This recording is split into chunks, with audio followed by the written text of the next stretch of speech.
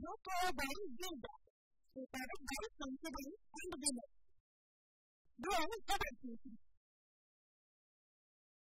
તો એ સિવાય પાંચ શહેર કે જે ગરમ શહેર દેશના છે, તેની વાત કરીશું અને આ ગરમી જોઈને આપ ચોંકી જશો આંકડા આપ જોઈ શકો છો બિગ વોલ પર કે જ્યાં દિલ્હી સૌથી વધારે ગરમ, દિલ્હીની પરિસ્થિતિ સમજો સુડતાળીસ પોઈન્ટ ચાર ડિગ્રીએ પહોંચી ગયું છે ત્યારબાદ આગ્રા જુઓ જે પાડોશી રાજ્યનું છે ઉત્તર પ્રદેશનું છેતાળીસ પોઈન્ટ નવ ડિગ્રી. આ બાડમેર જાઓ છેતાળીસ પોઈન્ટ નવ ડિગ્રી. કેસરિયાથી મન જોગી થયું રે દિલ ઝૂમે જુઓ.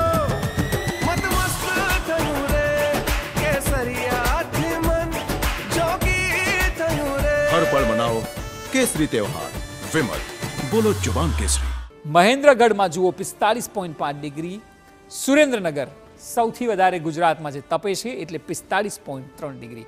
આ દેશના પાંચ સૌથી ગરમ શહેરો છે, જેમાં ગુજરાતનું એક છે અને નોર્થનું આપણે જોવા મળશે. દિલ્હી હાઈએસ્ટ છે, જ્યાં સુડતાલીસ પોઈન્ટ ચાર ડિગ્રી ગરમી જોવા મળી રહી છે. એટલે તમામ દેશની આખા, ન માત્ર ગુજરાત, દેશની હાલત પણ અગ્નિવર્ષામાં શેકાઈને લોકો પરેશાન થઈ ગયા છે, ત્રસ્ત થઈ ગયા છે અને આ ગરમી સતત વધવાની સંભાવનાઓ લગભગ આ મહિનો તો મે મહિનો અઠવાડિયું તો હશે જ કે જે અત્યાર સુધી જો કે એકંદરે રાહત રહી હતી, પરંતુ હવે ગરમીએ પેસ પકડી છે અને ગરમી જે છે તે સતત વધી રહી છે. ત્યારે હવે આપને એ સમજાવીએ કે ગરમી જ્યાં વધી રહી છે, ત્યાં શું કરવું જોઈએ આપે?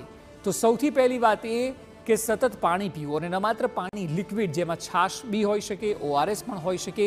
સતત લિક્વિડને નાખવું ખૂબ જરૂરી છે કારણ કે ડિહાઇડ્રેશન થતું હોય છે અને ડિહાઇડ્રેટ બોડી ન થાય એટલે પાણી સતત લેવું ખૂબ જરૂરી છે. કામ વગર બહાર ન નીકળવું અને ખાસ કરીને આ યંગસ્ટર માટે. એટલા માટે કારણ કે જ્યારે વેકેશનનો સમય છે, લોકો ક્રિકેટ પણ રમતા હોય છે, લોકો બહાર નીકળતા હોય છે. કામ વગર બહાર ન નીકળવું, ખાસ કરીને યંગસ્ટર અને બહાર જો નીકળવામાં આવે તો માથાને ઢાંકવું માથાને ઢાંકવું ખૂબ જરૂરી છે. જો આપ માથાને ન ઢાંકો, તો પછી હિટસ્ટ્રોક લાગવાની પૂરેપૂરી સંભાવના છે. બહાર નીકળો તો સુતરાઉ કપડાનો ઉપયોગ સૌથી વધારે કરો અને ઘરનું જમવાનું આવશ્યક છે. કારણ કે ઘરનું જ્યારે જમીએ ત્યારે પોષણવાળું પૌષ્ટિક આહાર જ ગરમી સામે તાકાત આપે છે લડવાની, જેમાં છાશનો ઉમેરો ખાસ કરો. કે શું ન કરવું જોઈએ તો સૌથી પહેલાં કાળા કપડાં ન પહેરવા જોઈએ, કારણ કે હીટ સૌથી વધારે કાળા કપડામાં, ડાર્ક કપડામાં લાગે છે. અને એ કરવાનું આપ ટાળો. એ સિવાય બીજું મહત્વનું એ કે ખાલી પેટે ઘરની બહાર ન નીકળો. જ્યારે આપે નાસ્તો કરેલો હશે ત્યારે જે એનર્જી હશે કે ગરમી સામે આપ લડી શકશો અને પરસેવાની સામે પણ આપની એનર્જી બનેલી રહેશે. જો ફાસ્ટફૂડના શોખીન હોવ તો આ મહિનો ફાસ્ટફૂડને અવોઇડ કરજો. એટલા માટે કારણ કે ફાસ્ટફૂડથી ગરમી અને આપને પોતે અપચા જેવું ફીલ થશે, અને તેનાથી પણ આપની તકલીફ વધી શકે છે. સતત પાણી પીવું એ હિટ સ્ટ્રોકના કેસમાં શું કરવું એનું સૌથી મોટું લક્ષણ છે. પાણી, સતત પાણીનો મારો રાખો. કાચી ડુંગળીનો રસ એ હાથ અને પગના તળિયા પર લગાવો જ્યારે હિટ સ્ટ્રોક થયું હોય ત્યારે.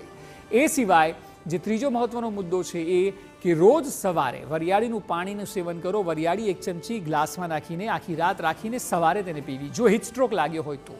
જેથી કરીને બોડીમાં એ ટાઢક રહે અને ગરમી સામે લડી શકે. એ સિવાય મહત્વનું એ છે કે ઠંડી જગ્યાએ સૂવાનું રાખો. જ્યારે ગરમી વધારે હોય અને સીધે સીધી પણ જ્યારે સનલાઇટ આવતી હોય તે નુકસાન કરતી હોય છે.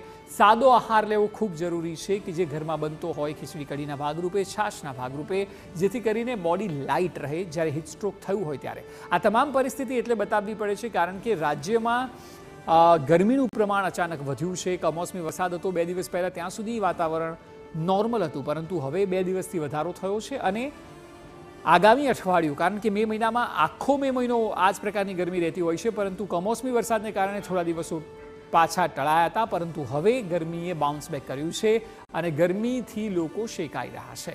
એ સ્થિતિને સમજવી ખૂબ જરૂરી છે. by zeta is added by coincidence and winner.